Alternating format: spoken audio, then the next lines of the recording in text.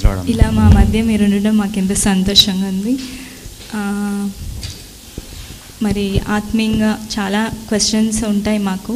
So వాటిల్లో మరి అందరికీ యూత్ అందరికీ ఈ ఏజ్లో ఉండే వారు అందరితో మరి ఒక క్వశ్చన్ మిమ్మల్ని అడగాలని ఆశపడుచున్నాను.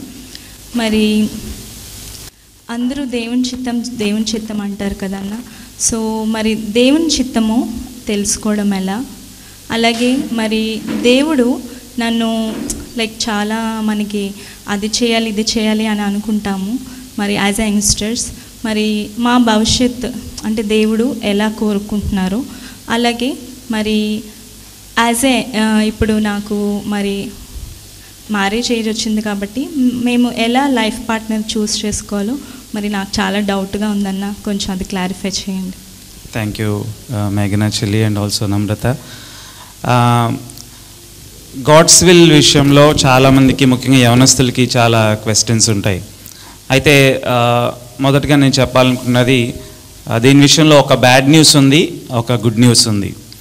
ఫస్ట్ బ్యాడ్ న్యూస్ చెప్తాను. అదేంటంటే మనకి రక్షణ అనుభవం లేకపోతే గాడ్స్ విల్ అన్న కాన్సెప్ట్ మనకి it's not related to us రక్షణ అనుభవం లేకపోతే గాడ్స్ విల్ అనేది మనకి అన్వయింపు కాదు. అది బ్యాడ్ న్యూస్ గుడ్ న్యూస్ ఏంటంటే God's will is not mysterious or mystical mysterious అంటే ఏదో గుప్తమైనదో లేకపోతే నిగూఢమైనదో కాదు. అది బయలుపరచబడింది. అందుకే నోయింగ్ గాడ్స్ విల్ చాలాసార్లు చాలామంది ఏమంటారంటే ఫైండింగ్ గాడ్స్ విల్ అని. But it's knowing God's will అయితే మొదటిగా నాలుగు విషయాలు మీ ముందు ఉంచుతాను. గాడ్స్ విల్ అంటే ఏంటంటే బైబిల్ ఏం చెప్తుందంటే God's will is that we are saved. మనం రక్షింపబడటం దేవుని చిత్తం అన్నమాట. యేసుక్రీస్తు ప్రభువారు నాకు బదులుగా సిలువలో మరణించి నేను చెల్లించాల్సిన వెల ఆయన సెలువులో చెల్లించి నాకు ప్రాయశ్చిత్తంగా బలి అయ్యారు అని విశ్వసించి ఆయన దేవుడని ప్రభు అని మన హృదయాల్లో ఆయన ప్రతిష్ఠించుకుని మన పాపాలు ఒప్పుకొని విడిచిపెట్టడం ఆయన చిత్తం. రెండవదిగా it is God's will that we are sanctified మనం పరిశుద్ధపరచబడటం దేవుని చిత్తం. ఇందాక చక్కని సందేశాన్ని మనం విన్నాం. యేసులో విజయం. దావిది జీవితం నుంచి మనం చూసాం sanctification is very important this is God's will ఒకవేళ నువ్వు దేవుని మనసును తెలుసుకొని ఆయన చిత్తాన్ని చేయాలని నీ హృదయంలో కోరుకున్నట్లయితే నీ జీవితంలో నా జీవితంలో మన జీవితంలో దేవుని చిత్తం ఏంటంటే దట్ వీఆర్ శాంక్టిఫైడ్ దాని అర్థం ఏంటంటే that we live a holy life మనం పరిశుద్ధ జీవితం జీవించటం. పాపాన్ని ద్వేషించటం. దేవునికి ఇష్టమైన వారంగా ప్రత్యేకమైన వారంగా జీవించటం. దిస్ ఈజ్ గాడ్స్ విల్ మూడవదిగా it is God's will that we are filled with the spirit of God or with the holy spirit దేవుని పరిశుద్ధాత్మ చేత నింపబడటము దేవుని చిత్తము. ఆయన అంగీకరించిన వారంగా ఆయన చేత నడిపింపబడటం దేవుని యొక్క స్వాధీనంలో మనం ఉండటం. నాలుగవదిగా it is God's will that we praise God in every situation ప్రతి పరిస్థితిలో కూడా దేవుణ్ణి స్తుతించటం దేవుని చిత్తం. ఇది చాలా ఎక్కువసేపు సమయం గడిపి చెప్పాల్సింది కానీ నేను క్లుప్తంగా చెప్తూ ఉన్నాను. అయితే చెల్లి అడిగినట్లు అన్న ఇవన్నీ బాగానే ఉన్నాయి కానీ నా మ్యారేజ్ విషయంలో దేవుని చిత్తం ఏంటి? నేను నా లైఫ్ పార్ట్నర్ని ఎలా చూస్ చేసుకోవాలి? లేకపోతే నా కెరియర్ విషయంలో దేవుని చిత్తం ఏంటి? అందుకే నేను ఇందాక చెప్పినట్లు ఇది మిస్టీరియస్ మిస్టికల్ కాదు అని చెప్పిన కారణం ఏంటంటే ఎప్పుడైతే దేవుని రివీల్డ్ విల్ని బయలుపరచబడిన చిత్తాన్ని అంటే రక్షింపబడి పరిశుద్ధపరచబడుతూ దేవుని స్థుతిస్తూ ఆయన ఆత్మచేత నింపబడిన మనకు మన వ్యక్తిగత జీవితంలో ఆయన మనల్ని సరైన విధానంలో నడిపిస్తారు. ఉదాహరణకు వివాహం విషయంలో. నేను ఎవరిని నా లైఫ్ పార్ట్నర్గా చూస్ చేసుకోవాలి? నువ్వు రక్షింపబడిన విశ్వాసి అయితే నువ్వు అవిశ్వాసిని చేసుకోవడం దేవుని చిత్తం కాదు. The first requirement is the person that you are going to get married must be a believer believer అంటే క్రిస్టియన్ కుటుంబంలో పుట్టినవారు అయితే సరిపోదు. వారు నిజంగా మారు మనసు పశ్చాత్తాపం కలిగి రక్షణ అనుభవం కలిగి నిజంగా దేవుణ్ణి వెంబడించడం అనేది వారి జీవితంలో ప్రప్రదమైన కర్తవ్యంగా చేసుకున్నారా లేదా? అలా కాకుండా అన్న నాకు పలానా పర్సన్ నచ్చారు. క్రిస్టియన్ ఫ్యామిలీ అన్న కానీ అంత విశ్వాస్ కాదు. అయినా చేసుకుంటాను. దేవుని చిత్తమా కాదు కనిపెడుతున్నానంటే God's will is already revealed. ఆ విషయంలో దేవుని చిత్తము కాదు అని స్పష్టంగా తెలియజేయబడింది. ఇంకా నువ్వు ఎదురు చూడాల్సిన అవసరం లేదు. రెండోదిగా రక్షింపబడిన వ్యక్తే. అన్న అలా అయితే రక్షింపబడిన వాళ్ళు చాలామంది ఉన్నారన్నా. ఎవరిని చేసుకోవాలి వాళ్ళల్లో? Second thing is how you align with your vision నీ జీవితంలో దేవుడు నిన్ను రక్షించుకొని ఒక ప్రత్యేకమైన ఉద్దేశం కోసం నిన్ను రక్షించుకుంటారు. ఉదాహరణకు నా జీవితంలో దేవుడు నన్ను సంఘ పరిచర్య కోసం ఆయన పరిచర్య ధర్మాన్ని నాకు అప్పగించారు. కాబట్టి నేను లైఫ్ పార్ట్నర్ని చూసుకునేటప్పుడు రక్షింపబడిన వ్యక్తి అయి ఉండాలి. అదే సమయంలో నా విజన్కి వారు ఎలా అయినా ఉండాలి. క్రిస్మాన్ చూసినట్లయితే నా వ్యక్తిగత జీవితంలో తను నేను వివాహం చేసుకోకముందే అడిగాను సంఘ పరిచర్య అంటే నీకు ఇష్టం ఉందా నీకు ఇటువంటి పిలుపు ఉందా ఎప్పుడైతే అది కూడా ఓకే అయిందో థర్డ్ థర్డ్ విషయంలోనికి మనం వస్తాం. రక్షింపబడి ఉండాలి మన విజన్కి దర్శనానికి అలైన్ అయి ఉండాలి. మూడవదిగా మనం జ్ఞాపకం చేసుకోవాల్సిన విషయం ఏంటంటే తప్పకుండా మనం ఆపోజిట్ పర్సన్ ఎవరైతే చేసుకుంటున్నామో వారి హైట్ వెయిట్ లుక్స్ అప్రోచ్ అవన్నీ మనకి ఇష్టమయ్యేటట్లు దేవుడు సరైన వ్యక్తినే మనకు నడిపిస్తారు. అవి అన్ఇంపార్టెంట్ అని నేను అనడం లేదు. కానీ ఇవి మ్యాండేటరీ కాదు. ఇది మ్యాండేటరీ కాదు. అంటే కంపల్సరీ కాదు. కంపల్సరీ మ్యాండేటరీ విషయం ఏంటంటే రక్షింపబడిన వ్యక్తిని మాత్రమే వివాహం చేసుకోవడం. రెండవదిగా రక్షింపబడిన వ్యక్తికి కూడా నీలాంటి ఆలోచన విధానం దేవుని కోసం నేను ఇలా వాడబడాలనుకుంటున్నాను. దేవుని కోసం మన ఇద్దరం ఎలా ముందుకు వెళ్ళాలి? అన్న ఆలోచన విధానం కలిగిన వారిని చేసుకోవడం మంచి ఆలోచన. ఉద్యోగం విషయంలో కూడా ఒక మిస్టీరియస్గా దేవుడు ఎవ- ఎక్కడో ఒక ఉద్యోగం దాచిపెట్టి నేను వెళ్ళి దాన్ని వెతకాలి ఒక నిధిని వెతికినట్లు నేను దాన్ని వెతుక్కుంటూ వెళ్ళాలి అలాంటి అవసరం లేదు. నువ్వు ఏ ఉద్యోగం ద్వారా అయితే నీ రక్షణ నిశ్చయత కలిగి దేవుని మహింపరచగలుగుతావో ఏ ఉద్యోగం ద్వారా నువ్వు సంఘానికి దేవుని పరిచర్యకు ఎక్కువగా ఉపయోగపడగలుగుతావో దేవుని రక్షణార్థమైన సువార్త కోసం ఎక్కువగా ఏ ఉద్యోగం కోసం అయితే వాడబడతావో అటువంటి ఉద్యోగాన్ని చూస్ చేసుకొని దేవునికి ఇచ్చే విషయంలో కావచ్చు దేవుని మహింపరిచే విషయంలో కావచ్చు నువ్వు దేవుని కోసం ఎక్కడ ఏ ఏ ఉద్యోగంలో అయితే ఎక్కువ ఉపయోగకరంగా ఉండగలుగుతావో ఆ ఉద్యోగం చూస్ చేసుకోవడం దేవుని చిత్తం. ఉదాహరణకు రెండు ఉద్యోగాలు నీ ముందు ఉన్నాయి ఒకటి చూస్ చేసుకుంటే నీకు ఫ్యాట్ శాలరీ బాగా మంచి శాలరీ వచ్చి చేసుకోవడం ద్వారా నువ్వు ఆదివారం ఆరాధనకి వెళ్ళలేవు. ఇంకొక ఉద్యోగం ఉంది. ఇంత హై లెవెల్ ఉద్యోగం కాదు. కానీ అది ఆ ఉద్యోగం చూస్ చేసుకోవడం ద్వారా నువ్వు చక్కగా ఆరాధనకి వెళ్ళొచ్చు చక్కగా సంఘ పరిచర్యలో ఉండొచ్చు సువార్త పరిచర్యలో ఉండొచ్చు మినిస్ట్రీలో బాగా యాక్టివ్గా ఉండొచ్చు. అలాంటి సమయంలో దేవుని చిత్తం ఏంటో తెలుసా? ఇంకా మిస్టీరియస్గా నువ్వు సండే ఉద్యోగానికే సండే కూడా చేసే ఉద్యోగానికి వెళ్ళమని దేవుడు చెప్పడు. రివీల్డ్ విల్ ఏంటంటే ఇక్కడ ఆల్రెడీ బయలుపరచబడింది. సువార్తలో పనిలో ఏ ఉద్యోగంలో అయితే నువ్వు మంచిగా ముందుకెళ్ళగలవో ఆ ఉద్యోగం చూస్ చేసుకోవడం సో కాబట్టి ఈ మెయిన్ టూ డెసిషన్స్లో దేవుని చిత్తాన్ని తెలుసుకునే విషయంలో మనం చాలా జాగ్రత్తగా ఉండాలి. రక్షింపబడిన వ్యక్తిని వివాహం చేసుకోవాలి. ప్రభువుని ఎరగని వ్యక్తిని చేసుకోవడం వల్ల అది దేవుని చిత్తం కానే కాదు. రెండవదిగా మన విజన్ ఏంటి? దేవుడు నన్ను ఎందుకోసం రూపించుకున్నారో ఇప్పటికే రక్షింపబడిన తర్వాత నీకు ఇచ్చిన పని ఏంటి? అది పాటలు కావచ్చు లేకపోతే సువార్త పరిచర్య కావచ్చు లేకపోతే ఇంకేదైనా కావచ్చు ఆ పర్పస్ డిరెక్షన్లో నీ కాబోయే స్పౌస్ ఏ విధంగా నీకు సహ సహకరించగలరు? ఈ విషయాన్ని జ్ఞాపకం చేసుకోవాలి. ఇది చాలా ఉపయోగపడుతుందని నేను అనుకుంటూ ఉన్నాను. థ్యాంక్స్ అన్న. ఇంకొక క్వశ్చన్ అన్న. జనరల్గా యంగ్స్టర్స్ ఏంటంటే డిప్రెషన్ అనేది చాలా ఫ్రీక్వెంట్గా ఫేస్ చేస్తూ ఉంటారు. ఒకవేళ వాళ్ళు అనుకున్నది సాధించకపోయినా లేకపోతే when comparing them with others or something they going to depression so ఇది చాలా మంది యంగ్స్టర్స్ ఫేస్ చేస్తూ ఉంటారు. So how do they overcome the depression ఎలా బయటపడవచ్చు దాంట్లో నుంచి? గుడ్ క్వశ్చన్ నమ్రత జనరల్గా ఎక్కువగా ఎక్కువ మందిగా ఈ రోజుల్లో యంగ్స్టర్స్ ఫేస్ చేస్తున్నారు ఏంటంటే డిప్రెషన్ uh, మానసికంగా వాళ్ళు కృంగిపోవడం.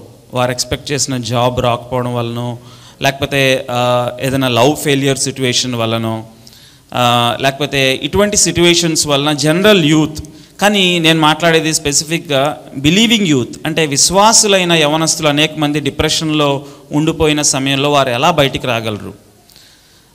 ఫస్ట్ థింగ్ ఏంటంటే కామన్ క్రిస్టియన్ హ్యాబిట్స్ ఒకటి ప్రార్థన రెండవది వాక్య జీవితం.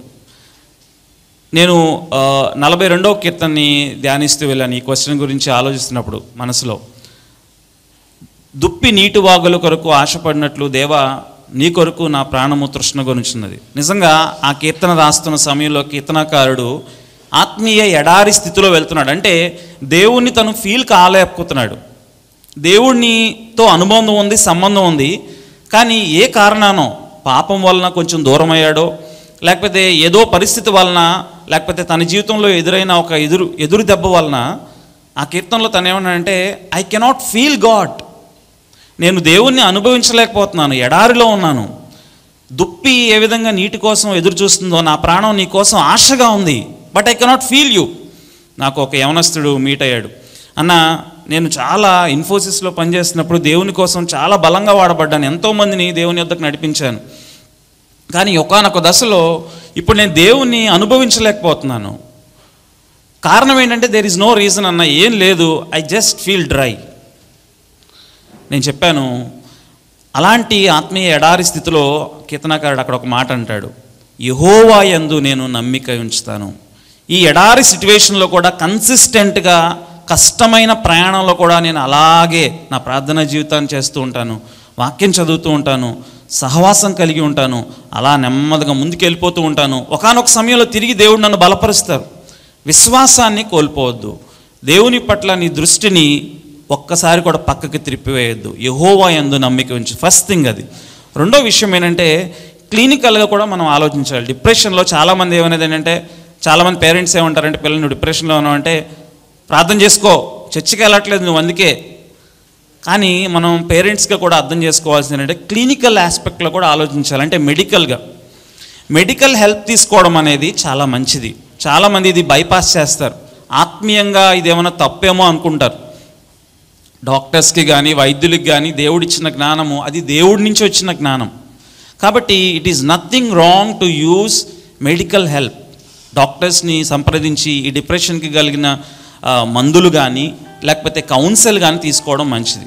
మూడవదిగా most important thing another important thing ఏంటంటే మంచి ఆత్మీయమైన సహోదర సహోదరులను కలు కలిగి ఉండటం.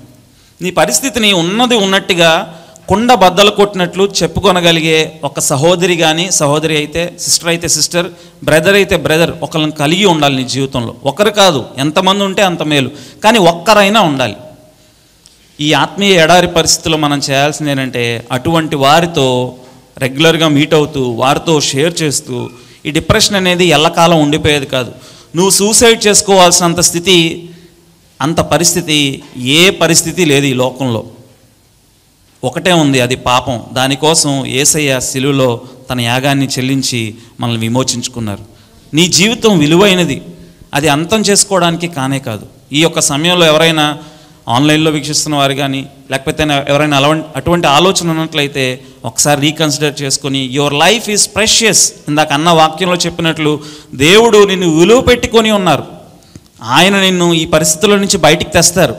కన్సిస్టెంట్గా యహోవాయందు నమ్మిక ఉంచు. రెండవదిగా కామన్ క్రిస్టియల్ లైఫ్ని కంటిన్యూ చేస్తూ ముందుకు వెళ్ళు. మూడవదిగా ఒక స్నేహితుని కలిగి ఉండు. మెడికల్ హెల్ప్ అవసరమైతే మెడికల్ హెల్ప్ తప్పకుండా తీసుకోండి. ఇంకేమైనా క్వశ్చన్స్ ఉంటే దయచేసి తప్పకుండా ఇట్లాంటి క్వశ్చన్స్ ఉన్నట్లయితే వైఎఫ్జే యూత్ ఫర్ జిఎస్ వారిని ఇటువంటి ఈ దీని మీద నేను సూసైడ్ చేసుకోవాలన్న ఆలోచనతో ఉన్నాను నాకు హెల్ప్ కావాలంటే తప్పకుండా అన్న వాళ్ళకి ఫోన్ చేయండి. వారు మీకు హెల్ప్ చేస్తారు. అవసరమైతే మేము వస్తాం మీ దగ్గరికి వచ్చి మీతో మాట్లాడతాం. ఐ హోప్ దట్ అన్న. క్లినికల్గా కూడా వెళ్ళాలని చెప్పారు. దట్ ఈస్ వెరీ హెల్ప్ఫుల్ నిజంగానే తను సర్పాస్ చేస్తారు అందరూ. దిస్ దాన్ని రికమెండ్ చేయరు. It's nothing wrong it's nothing wrong అని చెప్పారు. ఎందుకంటే యేసుక్రీస్తు ప్రభు ఒక ఒక మాట అన్నారు. రోగికే కదా వైద్యుడు కావాలని. అంటే he has authorize that a patient needs a doctor there is nothing wrong in that there is nothing spiritual to spiritual in that thank you మంచి ఆన్సర్ చెప్పారన్న. లైక్ యాజ్ ఎ మెడికల్ ఫీల్డ్లో ఉన్నాను నేను. సో ఏ పేషెంట్ చూసినా with chronic conditions ఖచ్చితంగా depression అనేది ఉంది చాలామందికి మరి మనందరికీ మీరు అన్నట్టు మరి దేవునిలో అండ్ ఒకరు మనకి ఖచ్చితంగా డాక్టర్ ఉంటే కనుక మనము చక్కగా ఆ ఫేస్ నుంచి బయటకు వస్తాం. ఇంకొక చివరి క్వశ్చన్ ఒకటన్నా. మరి ఈ సిచ్యువేషన్స్లో లైక్ యాజ్ ఎ యంగ్స్టర్ మరి ప్రార్థన చేయాలి వాక్యం చదవాలని మీరు అన్నారు. ఇంకా ఎలాగో మరి దేవునితో మంచి రిలేషన్షిప్ కలిగి ఉంటే బాగుంటుంది. నాకు దేవునికి ఎలాంటి రిలేషన్షిప్ ఉండాలో మీరు వాక్యానుసారంగా చెప్పండి అన్న మెయిన్గా స్టూడెంట్స్ లైక్ బిజీ ఎగ్జామ్స్ విషయంలో చదువు విషయంలో. యాజ్ వర్క్ చేసే వాళ్ళకేమో హండ్రెడ్ పర్సెంట్ టైం మనకి వర్క్కి వెళ్ళిపోతుంది. మరి మాకు ఆశీర్వాదకరంగాను దేవునికి మహ్యకరంగాను ఎవ్రీడే మేము ఎలా జీవించగలమో ఒకసారి చెప్పండి అన్న థ్యాంక్ యూ థ్యాంక్ యూ మేఘనా ఇక్కడ నేను నేను కామన్ సింపుల్ క్రిస్టియన్ లైఫ్కి ఒక్క ప్రిన్సిపల్ని ఫాలో అవడానికి ట్రై చేస్తూ ఉంటాను. అదేంటంటే never forget the old rugged cross and the ancient words ఇది ఎప్పుడు మర్చిపోవద్దు. ఓల్డ్ రగెట్ క్రాస్ అంటే అర్థం ఏంటంటే సువార్తను మీ జీవితంలో మర్చిపోవద్దు. సువార్త అంటే యేసుక్రీస్తు ప్రభువారి ద్వారా నాకు విమోచన కలిగింది. నీ జీవితంలోని ప్రతి అంశాన్ని ఇందాక చెల్లి చెప్పినట్లు ఉద్యోగం కావచ్చు లేకపోతే నా డైలీ యాక్టివిటీ కావచ్చు లేకపోతే నా హెల్త్ కావచ్చు లేకపోతే నేను ఫిట్నెస్ కోసం చేసేది కావచ్చు డైట్ కావచ్చు స్పిరిచువల్ అన్స్పిరిచువల్ అనేది మన లైఫ్లో ఏం లేదు. హండ్రెడ్ పర్సెంట్ ఈ స్పిరిచువల్. ప్రతి దాన్ని కూడా ఓల్డ్ రగెడ్ క్రాస్కి అంటే సువార్తకు మన జీవితాన్ని అన్వయించుకోవాలి. నేను ఏం చేసినా క్రీస్తు కేంద్రంగా చేస్తాను. నా బ్రతుకు నా సమయం అంతా ఆయన కోసమే నేను వెచ్చిస్తాను. This is the number one principle second thing ancient words అంటే ఈ స్క్రిప్చర్ స్క్రిప్చర్ని మర్చిపోవద్దు. స్క్రిప్చర్తో సమయం గడుపు. ఈ ancient words they are ever true కాబట్టి సువార్త సువార్త అన్వయించుకోవడం సువార్త బోధించడం. ప్రభువుని ఎరిగిన వారికి సువార్త బోధించడం. సింపుల్ క్రిస్టియన్ లైఫ్లో మనం గ్రో అవ్వడానికి మిస్టీరియస్గా ఇంకేదో చేయాల్సిన అవసరం లేదు. సువార్తను అంటు కట్టుకునుండు అంటు పెట్టుకునుండు దాన్ని ప్రకటించు. రెండవదిగా నేను ఇందాక చెప్పినట్లు వాక్యాన్ని చదువు వాక్యంతో సమయం గడుపు వాక్యం ద్వారా దేవుడు మాట్లాడతారు. మూడవది ప్రార్థనా జీవితం. యువర్ ప్రేయర్ లైఫ్ దేవునితో నువ్వు ప్రార్థించే సమయము గడిపే సమయము అది చాలా ప్రాముఖ్యమైనది అది నిన్ను విశ్వాసంలో అది ఆకువాడక తన కాలం ముందు ఫలమిచ్చే చెట్టుగా ఉంచే సాధనం అన్నమాట వాక్యము ప్రార్థన. నాలుగవది సహవాసం సంఘ సహవాసము అదేవిధంగా ఇందాక చైతన్య చెప్పినట్లు అన్న చర్చ్లో మేము గ్రో అవుతాం అన్ని విషయాల్లో. ఇక్కడ యూత్ ఫర్ జీసస్లో ప్రత్యేకంగా యవనస్తుల కోసం జరిగే పరిచర్య మమ్మల్ని బలపరుస్తుంది. కాబట్టి చర్చ్ ఫెలోషిప్ అదేవిధంగా యూత్ ఫర్ జీసస్తో లేకపోతే ఇట్లాంటి మంచి క్రిస్టియన్ మినిస్ట్రీస్తో సంబంధం సహవాసం వ్యక్తిగతంగా సహవాసం కలిగి ఉంటాం. ఐదవది మోస్ట్ ఇంపార్టెంట్ థింగ్ పరిశుద్ధత. నీ హోలీనెస్ని కాపాడుకో. ఇందాక అన్న చెప్పినట్లు మెసేజ్లో హోలీనెస్ విషయంలో కాంప్రమైజ్ అవ్వద్దు. టెంప్టేషన్స్ వచ్చినప్పుడు ఈల్డ్ అయిపోవద్దు సకంబ్ అయిపోవద్దు. దేవుని శక్తి ద్వారా దాన్ని జయించి ముందుకు వెళ్ళు. హోలీనెస్ ఒక భక్తుడు అన్నాడు చార్ల్స్ కోల్సన్ అనే ఒక భక్తుడు ఏమన్నాడంటే holiness is the everyday business of every Christian నీ మినిస్ట్రీ కన్నా నువ్వు దేవుని కోసం చేసే పని కన్నా లేకపోతే నీ ఉద్యోగం కన్నా the most important thing in your life is your relationship with your God నీ దేవునితో నీ సంబంధము అత్యంత ప్రాముఖ్యమైన విషయం. కాబట్టి ఆత్మీయత అంటే స్పిరిచువల్ లైఫ్ అంటే గ్రోయింగ్ అంటే మన ఫోకస్ ఎక్కువగా బాహ్యమైన విషయాల మీద ఉంటుంది. నేను ఎంత బాగా చర్చికి వెళ్తున్నాను నేను ఎంత సమయం అందరి ముందు నేను కనపడుతున్నాను లేకపోతే నా నడవడికి ఎలా ఉంది నా ఇవన్నీ ప్రాముఖ్యమే. But a deep Christian a true Christian is the one who has gospel as his center of his life సువార్తని కేంద్రంగా కలిగి ఉంటాడు ప్రార్థనా జీవితం కలిగి ఉంటాడు వాక్యము ధ్యానిస్తూ పఠిస్తూ ఉంటాడు సహవాసం కలిగి ఉంటాడు. ఐదవదిగా పరిశుద్ధతను కాపాడుకుంటాడు. These are the marks of a Christian నేను క్రిస్టియన్ని విశ్వాసిని కాదో అని నువ్వు ఒకసారి పరీక్షించుకోవాలనుకుంటే ఈ మార్క్స్ ఉన్నాయని చూసుకో నీలో. అంటే సువార్తను అర్థం చేసుకుని రక్షింపబడ్డావా? దాన్ని ప్రకటిస్తూ ఉన్నావా? రెండవదిగా ప్రార్థనా జీవితం కలిగి ఉన్నావా? వాక్యాన్ని ధ్యానిస్తూ ఉన్నావా? నాలుగవదిగా పరిశుద్ధతను కాపాడుకుంటూ ఉన్నావా? సహవాసం కలిగి ఉన్నావా? ఇంకా ఏమి ఇంకా ఏ విషయాలు ఇవి అసాధ్యమైనవి కావు. ఇంకేదో బర్డెన్సమ్ కానే కాదు. కాబట్టి దీని ద్వారా మనం క్రిస్టియన్ వాక్లో గ్రో అయ్యే అవకాశం ఉంటుంది. ఐ హోప్ దట్ హెల్ప్స్ చాలా థ్యాంక్స్ అన్న. మరి మంచి మాటలు చెప్పి మమ్మల్ని ఎంకరేజ్ చేస్తూ ఇంకా ఆత్మీయ స్థితిలోకి ముందుకు నడిపించినందుకు వందనాలన్న. Thank you thank you sisters విలువైనది నీ ఆయుష్కాలం తిరిగి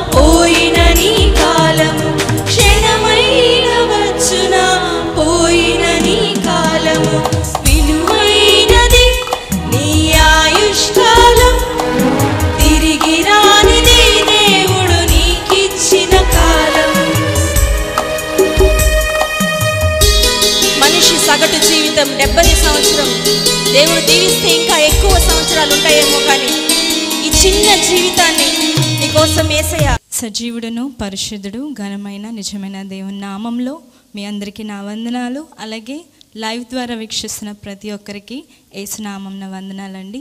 మరి లాస్ట్ సండే నేను మా సిస్టర్ బయట కూర్చున్నప్పుడు మరి సండే స్కూల్ విద్యార్థులు మామూలుగా వస్తూ ఉండేవాళ్ళు అయితే మా స్ట్రీట్లోనే. తను ఎందుకు సండే స్కూల్కి రావట్లేదు అని అడిగినప్పుడు చాలా వచ్చింది.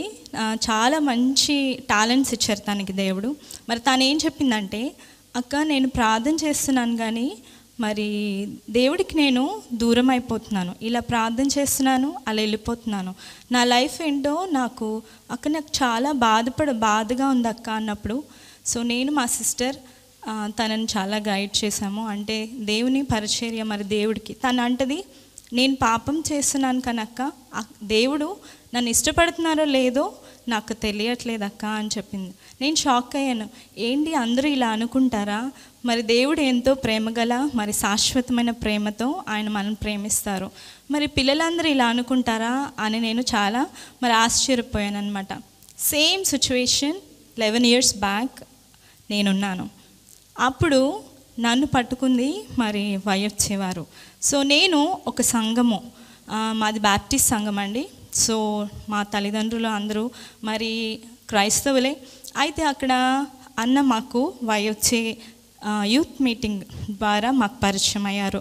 సో అప్పుడైతే అంతకుముందు నేను అందరిలాగే సో పాటలు పాడేదాన్ని సండే స్కూల్ టీచర్గా నడిపించేదాన్ని.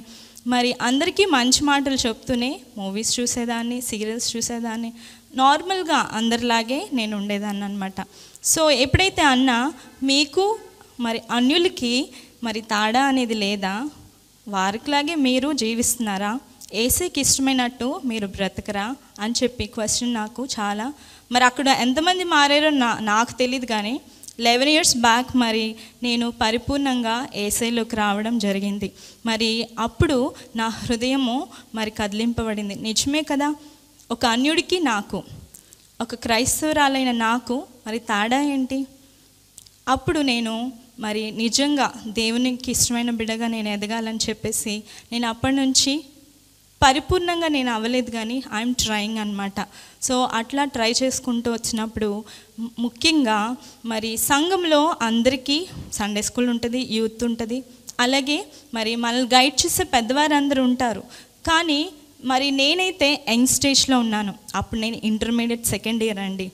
సో ఇంటర్మీడియట్ సెకండ్ ఇయర్ నుంచి మరి ఫార్మడీ అంతా అన్న వాళ్ళు వైఎఫ్సీ రిలేషన్షిప్ గురించి చెప్తున్నాను. అనేకమైన క్యాంప్స్ సో మేము భవానీ ఐలాండ్ వెళ్ళినప్పుడు వాక్యానుసారమైన గొప్పగా మరి నేను అప్పటి వరకు వీక్గా అయిపోతుంది. సో అనేక సిచ్యువేషన్స్లో బట్ ఐ బికెమ్ స్ట్రాంగ్ మళ్ళీ అలాగే చాలా వాటికి మరి అనేకమైన క్యాంప్స్ ఇక్కడ కూడా ఐటీ క్యాంప్ మరి బందర్ కానీ ఇలా మేము అనేక సిచ్యువేషన్స్లో అయిన దేవుడు ఎంతో గొప్ప కార్యం జరిగించాడు. అయితే నేను చెప్పాలనుకుంది ఏంటంటే మరి నేను ఈ టెన్ ఇయర్స్లో ఎప్పుడూ నేను వయొచ్చిని వదలలేదు. So now I'm working as a medical coder from past four and half years in Bengaluru so still I'm working ఇప్పుడు వర్క్ ఫ్రమ్ హోమ్ నా బలం శక్తి మరి వైఫ్ జే ద్వారా మరి వారికి ఎంతవరకు నేను ఉపయోగపడినో దేవుని కార్యక్రమాల కొరకు నేను వెచ్చించాలనుకుంటున్నా. ఎందుకంటే వైఎఫ్ జేకి వస్తే నాకు సంతోషము. మరి మీకు తెలుసు వైఎఫ్సి అంటే it's a group of youngsters మరి వారి ఫెయిత్తో ముందుకు వెళ్తారు. మరి ఆ గుడ్ న్యూస్ని అనేక మందికి చేరవేయాలని చెప్పి వైఎఫ్జే చూస్తుంది.